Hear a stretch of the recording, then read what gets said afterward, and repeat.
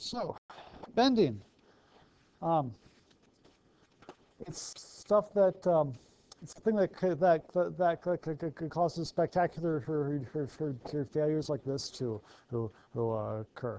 Um, it's kind of wild crap, um, and that's and it's actually normally the thing that we are the most worried about in a in a in a system when we're doing structural analysis. Normal stress and shear stress all contribute um, and, and torsional stress and all the stresses that we've talked about all kind of all can contribute to failure in their own in their own ways.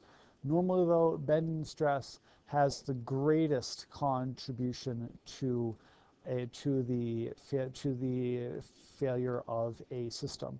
For example, um, if we go back, I think it was uh, homework two had. I'm going to draw a terrible shovel. There you go. There's your absolutely terrible there's your shovel. Um, it's called your, your normal shovel has a, a diameter of about in, about about an inch and a half, right? Um, say an overall normally an overall length of around four foot. Sound sound about right? So um, say that I'm using that shovel and I'm pushing, and I'm trying to push this sucker down in in the dirt as hard as I possibly can and, and Sam really yank, Sam really yanking on it and stuff. And um, say that lets me generate a force of about 200 pounds going going down the length of the shaft. If you do the math out, look at just normal force or in this. Um, so it's just force over area, right? Gets you about 115 psi which, as you found out in your homework, is really not that much. Like it's like that's like child's play for a given shovel to handle. And when you, when you computed across, and when you computed a, uh, diameter, and it ended up to be really, really small. And in fact, it's called unusually small. Now, if we redirect that 200 pounds and say that now you're levering with the shovel, like it's underneath the rock that you're trying to pry up right? And you generate that 200 pounds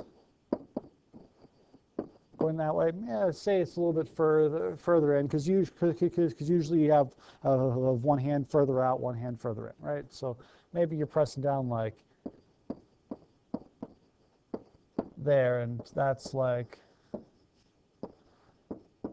42 inches, so like three and a half feet from where, which call from where you're trying to lever from. If we do out the math for, uh, for that, like we're going to talk about a, a, a bit today, the bending stress from that same from that from that same load comes out to be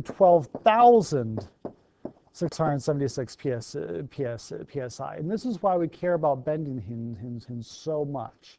And this is this kind of part, and this is why being able to identify uh, what loads a structural element is going to be in is so uh, is so essential. A load that might seem incons inconsequential because it's only going in tension or compression or in shear might actually be kind of might actually be kind of devastating in bend in in bending.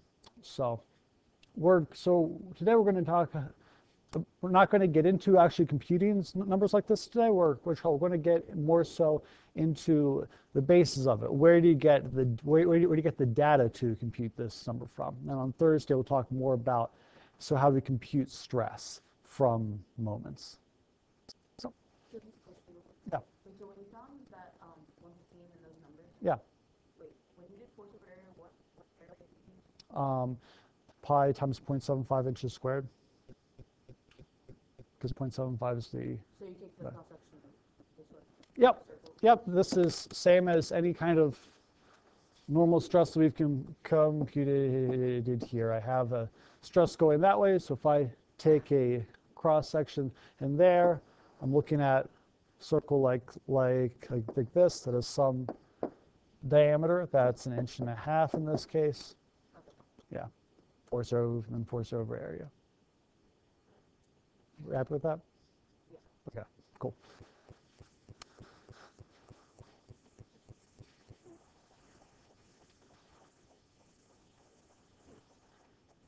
All right, so some just some other things. I thought uh, I thought it was kind of cool. Um, if you look at a dam, most dams, not all all dams, but they're shaped like an arch, and it's because shear and normal stresses are not the dominant factor here. It's bending loads. So if you've ever seen an arch and how they're made to resist top loads because a straight beam uh, doesn't resist bending stress as as well. You can think of this as like an arch going into the reservoir. It's a horizontal arch. Um, and, and, and that's and that's and it's because bending loads are so dominant. Okay, so but in order to get bending loads, as with everything, we have to be able to determine internal loads. So if you guys remember this fantastic, fantastic, fan, fantastic creature from like week from from like quick week one, how do, how, how if we find say the normal stress in the upper part of that head arm? How, how, how, how do we break this down?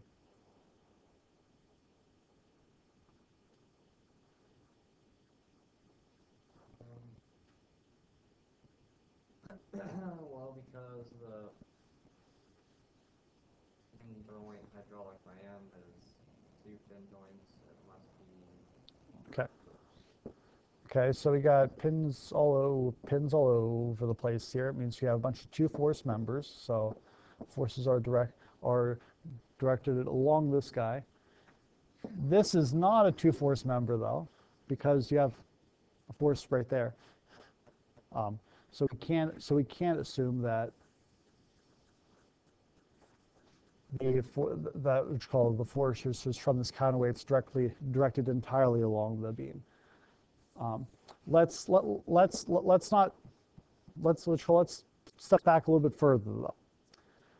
So I have a 2,000 pound, a 20,000 pound uh, weight here, right?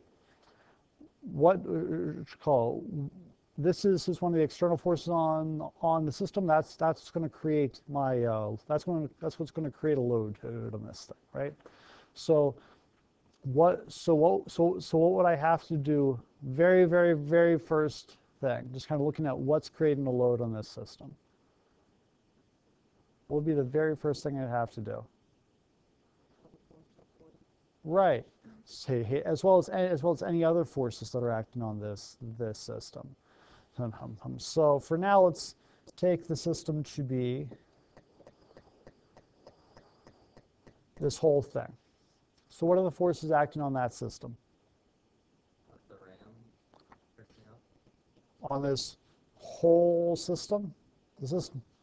Yeah. Gravity pushing up the whole force. Okay, so there's some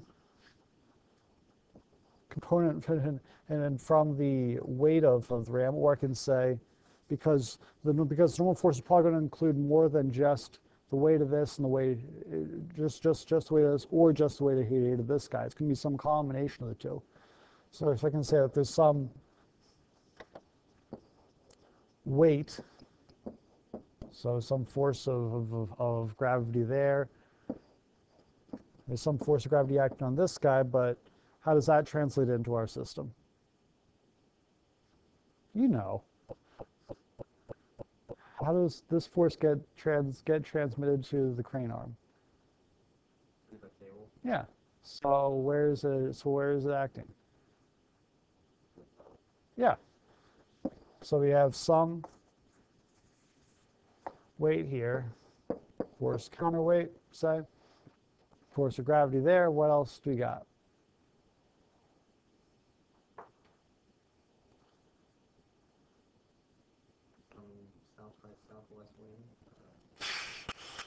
Do we have any, do we have any reaction loads? Yeah. So we have some reaction force here, and some reaction force here that we don't know the direction of. So this is like F ram is like F arm Y and like F arm X. So that, those should be all of our external forces act, acting on this system. And say that I, so, okay, that's, that's, that's, that's great. Now I want him to find internal loads. Say just up here. What I, called, what I need to know anything about what's going on down, down here from just, from just looking up here? No, because what's up, because is up, because up, because up here, you have this, is, so you have this counterweight pulling on one side, and that, and that load needs to be transmitted down to the, the ram and the rest of the arm. What's gonna, what's gonna transmit that load? The arm, right. Like, if I have this, if, if I have this piece, piece, piece paper and you pull, and you pull, and, and you pull on it, it, it- the, the paper is transmitting the load between our, but, between our hands. There can be other loads pushing on your arm, or, or my arm, but this paper has to ultimately trans, trans, tra- transmit whatever load is being placed on it. And in this case, that load is the counterweight. So, we simplify this a little bit, we look just at the end of that arm. We have the counterweight there. This is a section. So there's some set of forces acting on act acting on that section, say um, some shear force, some normal force. These are the forces that are being transmitted by the material of that arm. Okay, you all with me here? How would I find the magnitude of those two force, the magnitude of those two forces? I think that this is at an angle of uh, 32.2 degrees. How, how do I find the magnitude of those forces?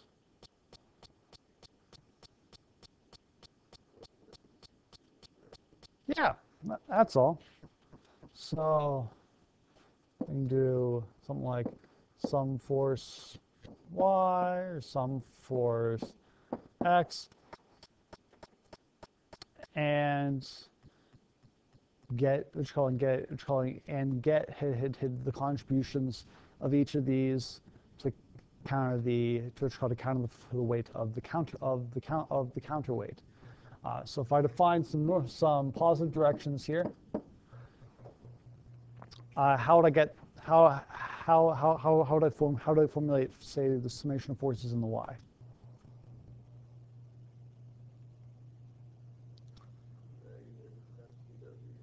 Okay. Negative FCW plus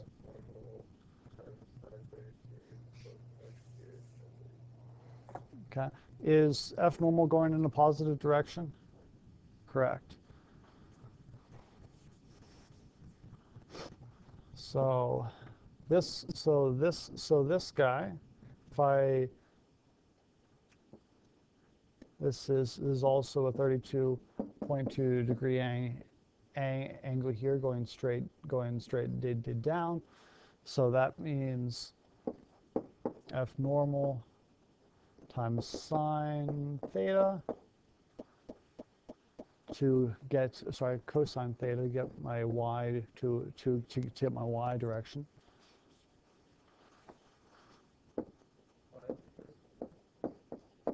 Uh, because 32.2 is the angle between the vertical and the arm. And if normal is pointing in the direction of the arm uh, by vertical angles, this is also theta. So in the y, so in the y direction, you have to use cosine. Okay. Does that make sense to, sense to everyone? Cool. Okay. Uh, so that's for the normal force, and then again for uh, shear. is going off this way. Let's see if I can make another angle here. So this one, this angle, which called this angle here between that and the vertical would also be, would it be 32.2?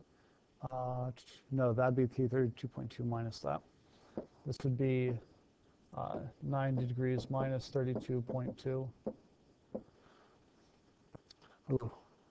So it would be what plus say again?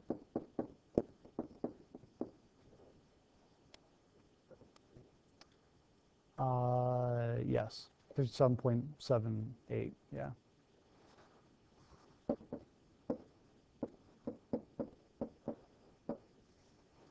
And that would be cosine again.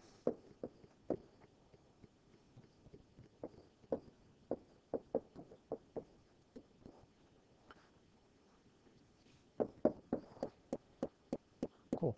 So that's call that sum sum of forces y, and then you go through a similar exercise to get some forces in the x. I'm not going to finish this just because I, I want you to get the idea of, of doing it. We're going to do it with a diff, with a different system, looking at bending moments in a second. But this is what it's called. But this is, is, is the basic I, idea that's going to underlay a lot of what we're going to uh, do. Who, who, who for all of which call for all of, of, of, of the bending unit and really for most of this, this, this class. Based on some external loading, the material has to transmit the forces and moments associated with that, lo- with that loading, and that results in some internal forces and internal bending, bending moments, which, which we're going to talk about in a, in a minute. You find them by going through this kind of a method. All right? So if you're so if, so if you're not comfortable with this, we're going to get we're, we're, we're going to get comf- comfortable with with with it. And if not, and if that doesn't work still, I'd recommend practicing and talk and call stopping by my office for more prep for from for, for, for, for more practice. Any questions on this before really go? Okay.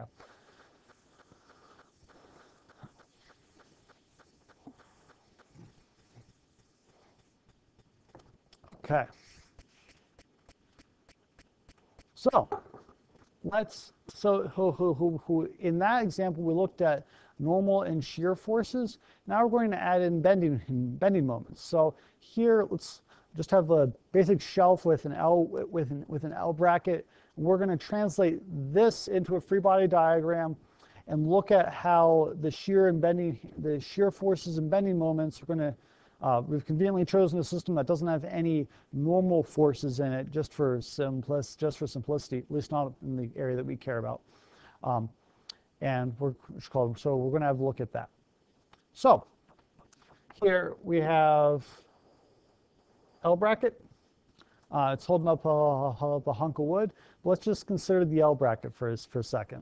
So it's just something like this looks like it might be a quarter inch thick. And then that looks like a, one by 10. So from there and there, it's about eight and a half inches. We could consider this thing here, but should, but do we, but it's called, from a failure of this part pers perspective, do we care about this little hook thing? Why?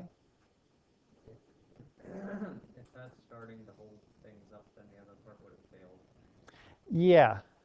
This, so you can, you can, you can kind of see in the picture, the wood's not actually pressing against it. It's not exerting any force on it. If there's no force on it, there's no stress. There's no way that this guy at the very end is transmitting any load to the rest of the part. So therefore, we don't really care about that particular element. We can rule it out as having any, any stress in it. So, we're, so that means we're only going to look from the edge of that hook back. So essentially, simplifying the system to that.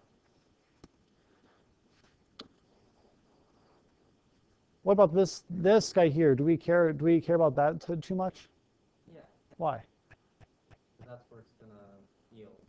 Okay, so uh, we're so this is a point of concern for, for us. This is where going, we should expect the maximum stresses since like like we said before, the maximum stresses usually come from bending.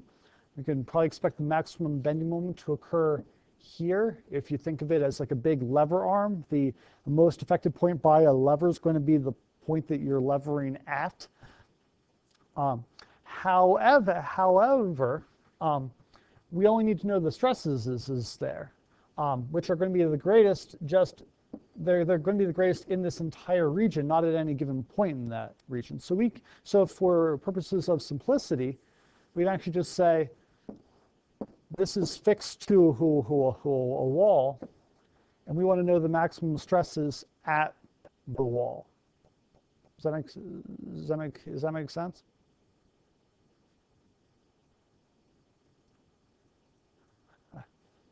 Why, why, why, why not? Because it's same dimensions to the wall or anything. And then if it's gonna bend, it's gonna bend right at the corner, so that's why you need to be right there. Also good, which call, which call also good intuition. The corner, we can probably expect to stress a stress concentration in that. So the, so, so the failure of this whole thing, if it's, if it's going to happen, it's probably going to happen right there.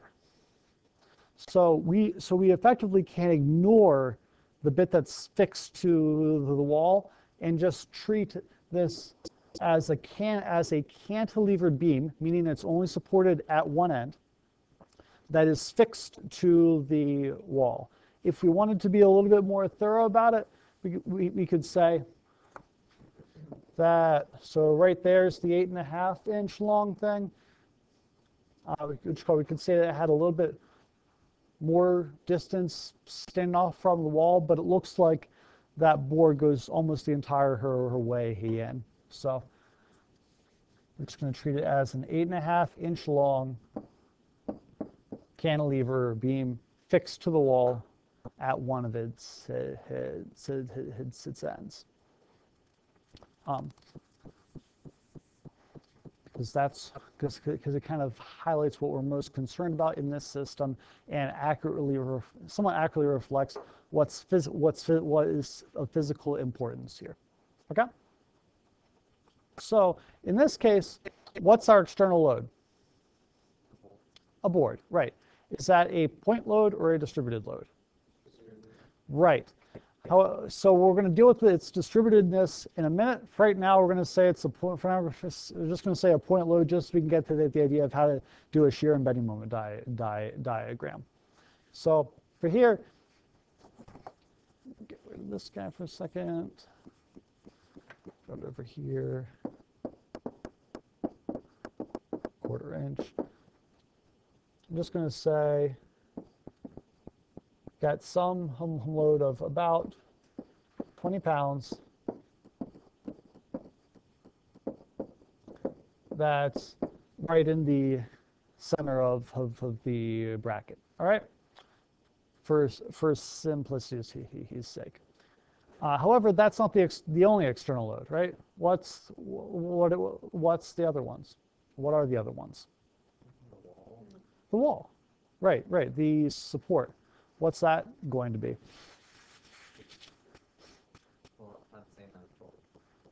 Okay, so th there are two implications from what you said, right? Sum of forces have to be the same, and the sum of the moments have have to be the same. Both of them have to come out to zero. So therefore, there must be some some some some force and some and some moment. Draw some positive directions here. Because the force can't, you, you, you need both because this 20 pound load is going to create a moment and it's also and it's also and it's also a force. So you need to be able to react both of those at the wall. So what are the magnitudes of those?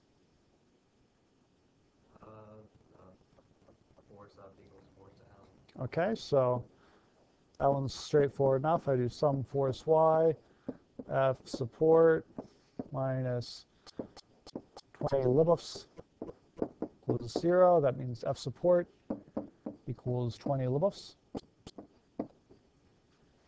Cool. How about the other one? Um,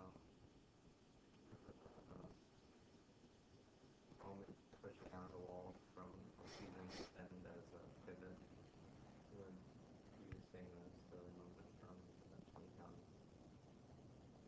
force. Right, because if I do sum of the moments, I come out to the same sort of, uh, of a thing. So sum moments, the 20 pounds is going in the negative direction, according to how I've de- defined it anyhow.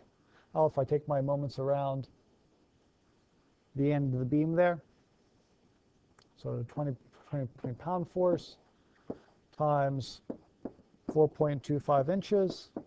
Every every moment needs a force and a and, and a distance. And then there's some concentrated su- support moment that I'm trying to find. So, yep, that's it. That's a plus sign, I promise. So yeah, it comes out to, to, to be something like 84? 85. Okay. so something like 85 pound inches or inch pounds, however you want to state that, because the English system is weird. So, inch pounds. Okay, you happy with that? Sweet. All right. Now for now and now for the fun part. So we have all the loads. Now we have to, now same as in the craning sample, same as in like every problem we've done, we need to find internal loads. So what are we, so what are we going to do now? Our favorite, our favorite activity. Just going to move this up out of the way.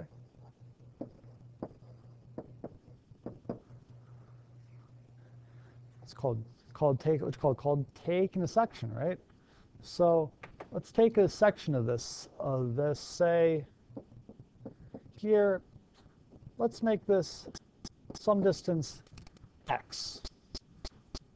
Because we're going to slide this around and see what changes, all right? So if I look at section there,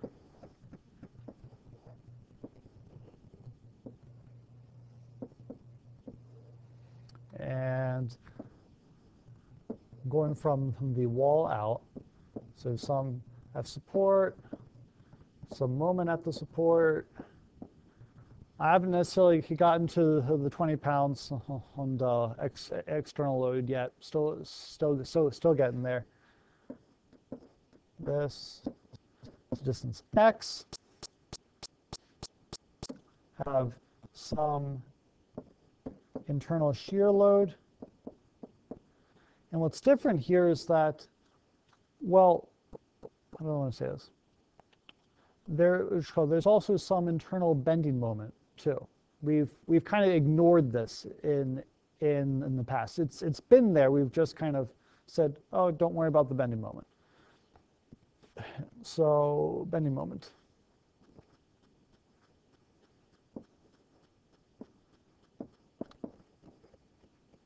All right. So, how do I find the magnitudes of those?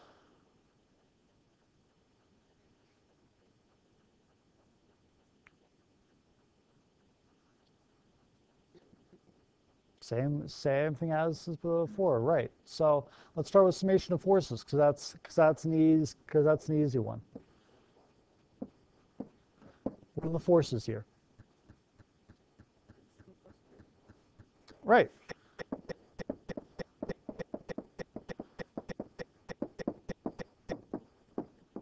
And that still equals zero because hopefully that thing's not moving. And so that's so that's so that's easy enough. Shear force is just E equal and opposite to the uh, uh, support driven force. Cool.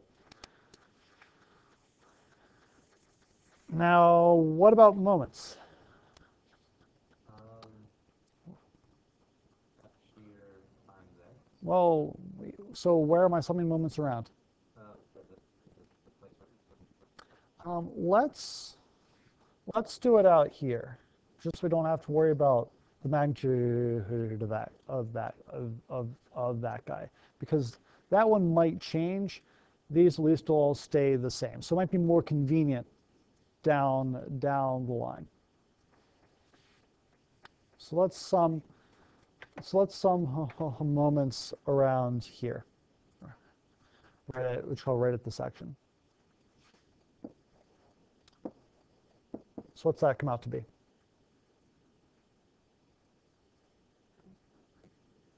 Say again? Okay, you have M support. Yeah.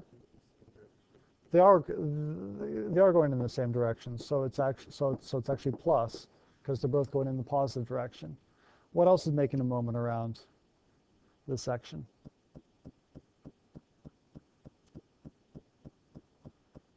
Does the support force make a moment around the section?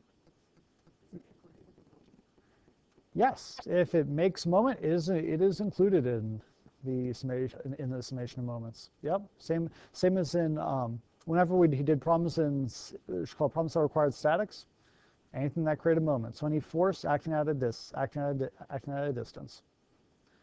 So what would the magnitude of that moment be?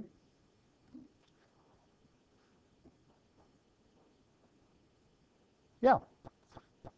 And sign is? You sure? Yeah. Right. Uh, so there's, so here, if we summed moments around the support, does the force at the support generate any moment there? Why? Right. So there has to be some con some some some concentrated mo moment there in order to react to the moment that's being created by the 20 pound external load. Here, all those all those all those all, all those all those loads exist at the support, and we're kind of marching out from from from from there. And if you look at summation of, of forces, summation of moments, I have to transmit both of those loads. So that's why they both exist. So that's why they both fact, factor in, in, in, into our internal loading. And because we're at a distance from the force at this support, it's, it's going to create a moment too. It's going to contribute to the bending moment. Cool. All right. So just finish this off, I need a little bit more space. Uh, minus F support times X. Okay. So this so this makes things a little bit more interesting because it means that the magnitude of the bending moment is actually going to change as I go out along the beam, right? Because I because now I have distance inside of this equation inside of this equation. So if I uh, just going to erase this for us for for a second.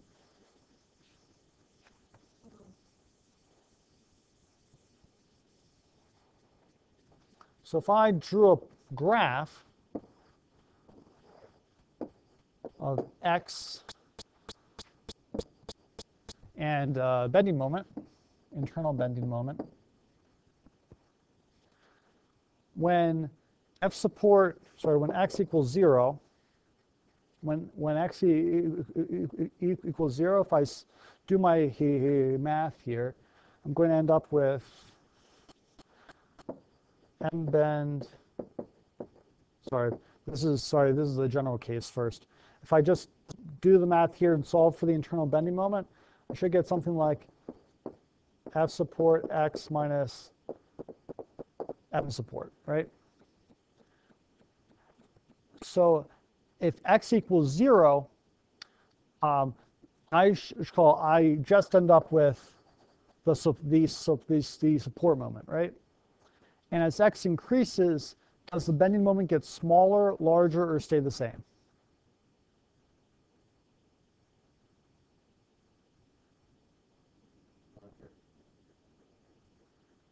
I so I hear smaller and larger. Okay. I, I, I, I don't know. So if x is 0, we end up with a negative number that's relatively large, right? Uh, 85 inch pounds. Start with that.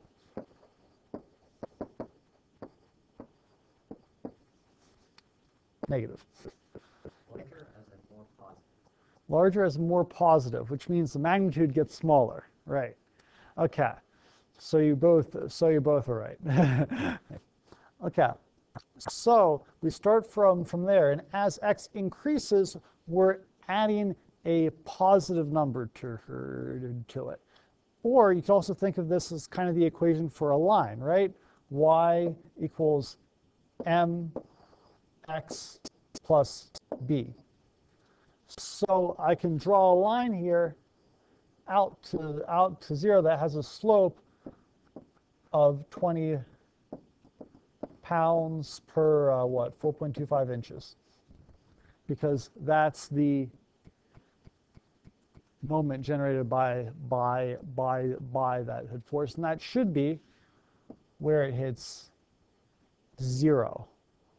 Um, uh, it, should, it, it should be a slope of 20 pounds force per, per 4.25 inches. Because, if I'm thinking that right, is it? Oh, sorry, sorry, sorry. Yeah, sorry. It's 20 pp. Yeah, sorry. It is just 20 pp. It is just 20 pounds per inch. I got two. I got two. I got two. uh, Sorry, it's just 20 sorry, it's just 20, 20 pounds. I got too, I got too, I got too fancy.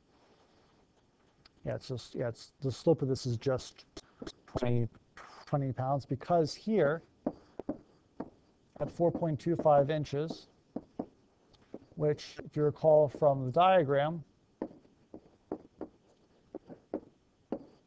the original, the original, in the original problem, that is where the external load, the only external load was that made that 85 inch pound bending moment. So we, so it would make sense that the internal bending moment would be zero when there is no more moment, right? So like if F support is 20 pounds and X is 4.25 inches, this should entirely cancel out the moment from the uh, from the support. Does that, does that does that make sense to everyone? Cool. So that so that kind of shows the correspondence of all this with our original free free body di free body diagram and kind of confirms our intuition about how this particular part, this L, this L bracket is going, is going to react to a load. That the most critical point is going to be right next to the support because that's where the bending moment, the, the internal bending moment that the material has to transmit is the highest. And we could draw a similar graph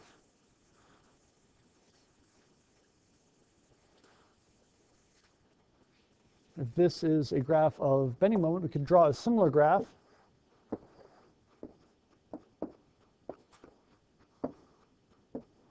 of shear force. What's this one going to look like?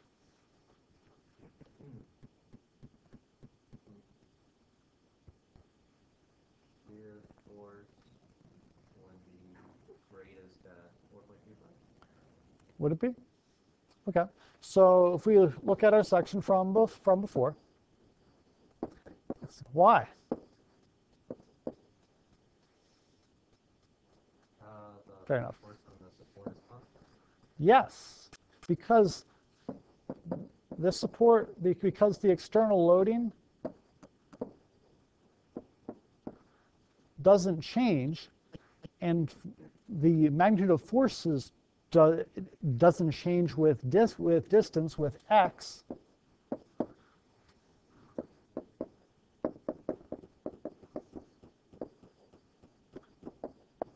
because his F shear is not going to change with for any value of x until you get to where the external loading to where, to where the external loading changes. Its magnitude is is going to be constant. So I think we said, um, well, for this one would be different, but I think it's probably our time we drew it going up.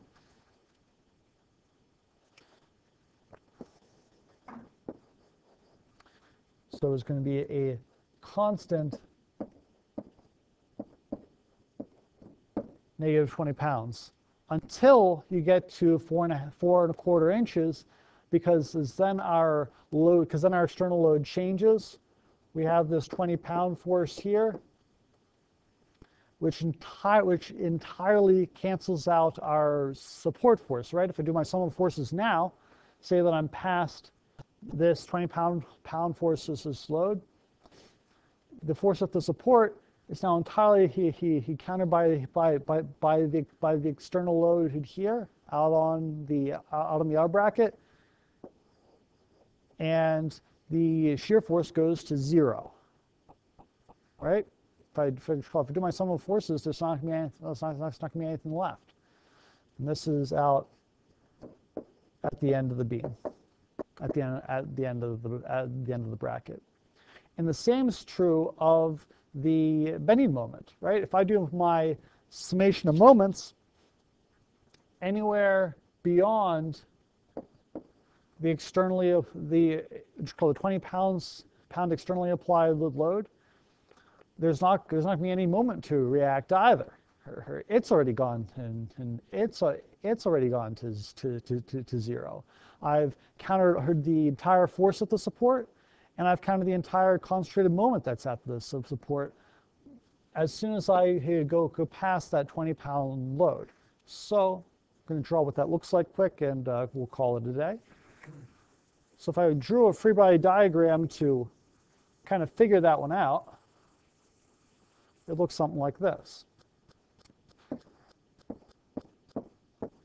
So there's my support. Here's my, here's my section, my 20 pound external loads floating around here. Distance 4.25 inches from the wall. Have my support force. I have M support. My concentrated moment that's, uh, that's hanging out there. Then I have sum shear force, some internal shear force, and some internal bending moment. So if I do my sum of the forces is here, let's do some force y, have F support minus 20 Lobos uh, plus F shear equals zero. F, since F support is 20 pounds, these, these two cancel out. F shear equals zero. We're done. I can do the same thing for bending moment. So sum, wow, that's a terrible summation. Sum moments, let's sum moments around, oh, I said I'd do it around 10, 10, 10 here.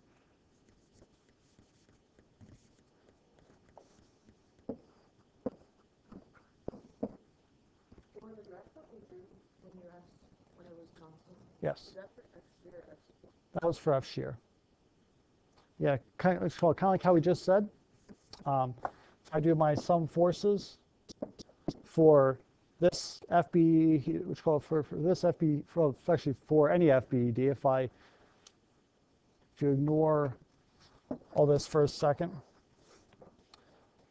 if I do sum some forces here, I have F support uh, plus F shear, right? and, and x is not in this equation at all. So if I solve for f shear, it's going to be a constant negative 20 pounds until we get to this guy. Now, if I do another summation of forces, I got F support minus 20 Lobos uh, plus F shear equals zero, and I get that these two cancel out, therefore F shear equals zero. But how do you know that F support is twenty? Uh, because our, because it's solved for it back at back in the back, back back in the beginning of the problem. You got it. Cool. So it's so it's a, so it's constant negative uh, 20 pounds. So F shear is constant negative 20 pounds until the middle of, of, of the bracket when it moves in a piecewise fashion to zero and stays there for the rest of the beam. then I can do the same process for finding the uh, for what's called finding the bending for finding the bending moment in some moments and, and, and, and around and here. Uh, how do I want to do? I want to say this?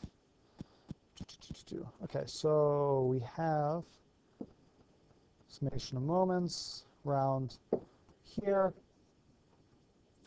and for simplicity, let's call x this now. So we have what m support plus f support times 4.25 plus x, which is plus x, um, minus 20 Lobos times x plus m bend equals zero. So we so so so that we can kind of work out to give whatever her, her, her the uh, bending moment's going going going to be on the far on the far side of that uh, external load and should come out to zero. Okay. Any, any questions about this? That's all, that's all, that's all I got for today then. Thanks for stopping by.